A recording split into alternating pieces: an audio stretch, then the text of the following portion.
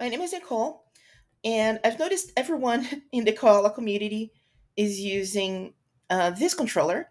So I've decided to make a custom preset, actually a couple of custom presets, in order to control as much as possible of the software without having to touch the screen. I've made a written tutorial, which I'm going to be following as well. Um, if you want to just follow this tutorial without me rambling on, you can just go to the description.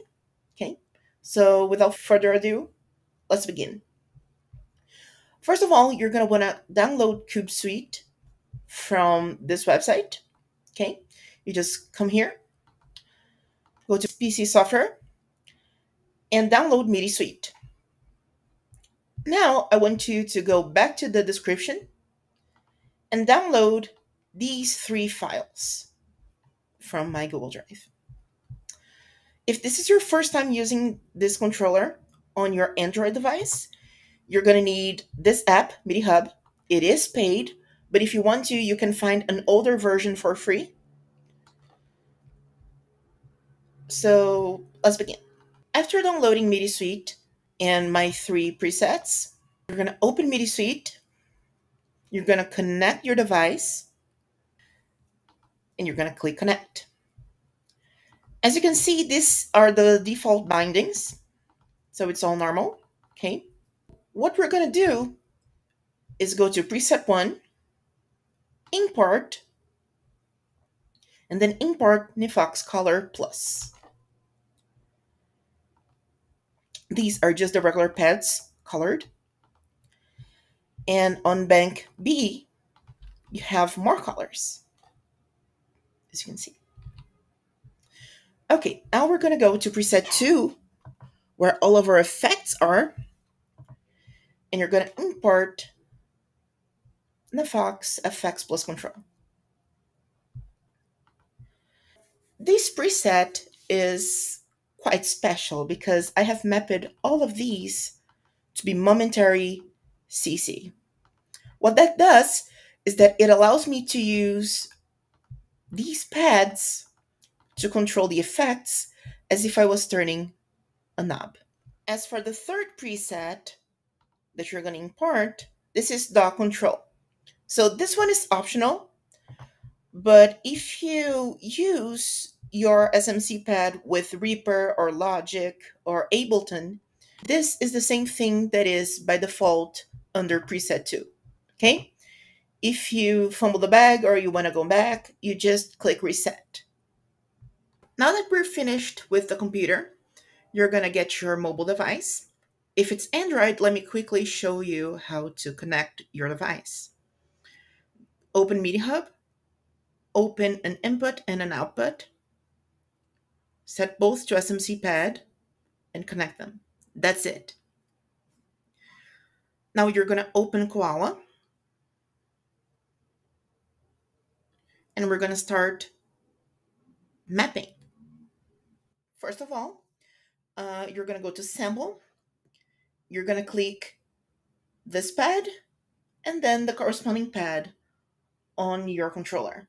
You're going to do the same for each and every one of these. Then you're going to select B, select pad bank B, and do the same with all of them. You're going to select sample start and map that to knob number 7. Sample length to pad number 8. Volume to 5. Pitch to 6. And the last four refer to the mix. Map 3 to low frequency, 1 to low gain, 4 to high frequency, and 2 to high gain. That way, we can control the simple EQ without having to touch the screen. Now that we're done, let's go to the effects section. First, you're going to want to select Shift and Presets 2 on your SMC pad. And we're going to start by mapping the effects on the triggers. You don't have to press every pad, just one on the column. So let's start.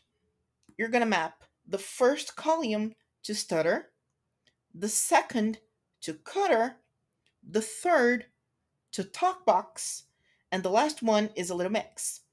So the first one goes to comb, the second goes to ring, and the other two come to filter. So they can high cut and low cut. Hold is assigned to the pause button. Now let's talk a little bit about the knobs. On both preset 1 knob bank B and on both knob banks on preset 2, um, they all do the same thing. So knob number 7 controls the crush. Number 8 controls the talk box. Number 5 controls the stutter. 6 controls the cutter. And then the last four knobs refer to the volume of each bus. Now, if you go to pad bank B, you will notice that the colors changed once again. You're going to map the eight purple on top to the sequences. Then you're going to map the reds to each of the mutes and the blues to each of the solos. Now, the last little touches are to map the left and the right button to mute and solo, so you can hold them and quickly tap a pad to mute or solo it, and the play button. And that's pretty much it. If you need any help or if I explain something in not the clearest way, leave a comment here or on Reddit and I'll reply to you. Bye.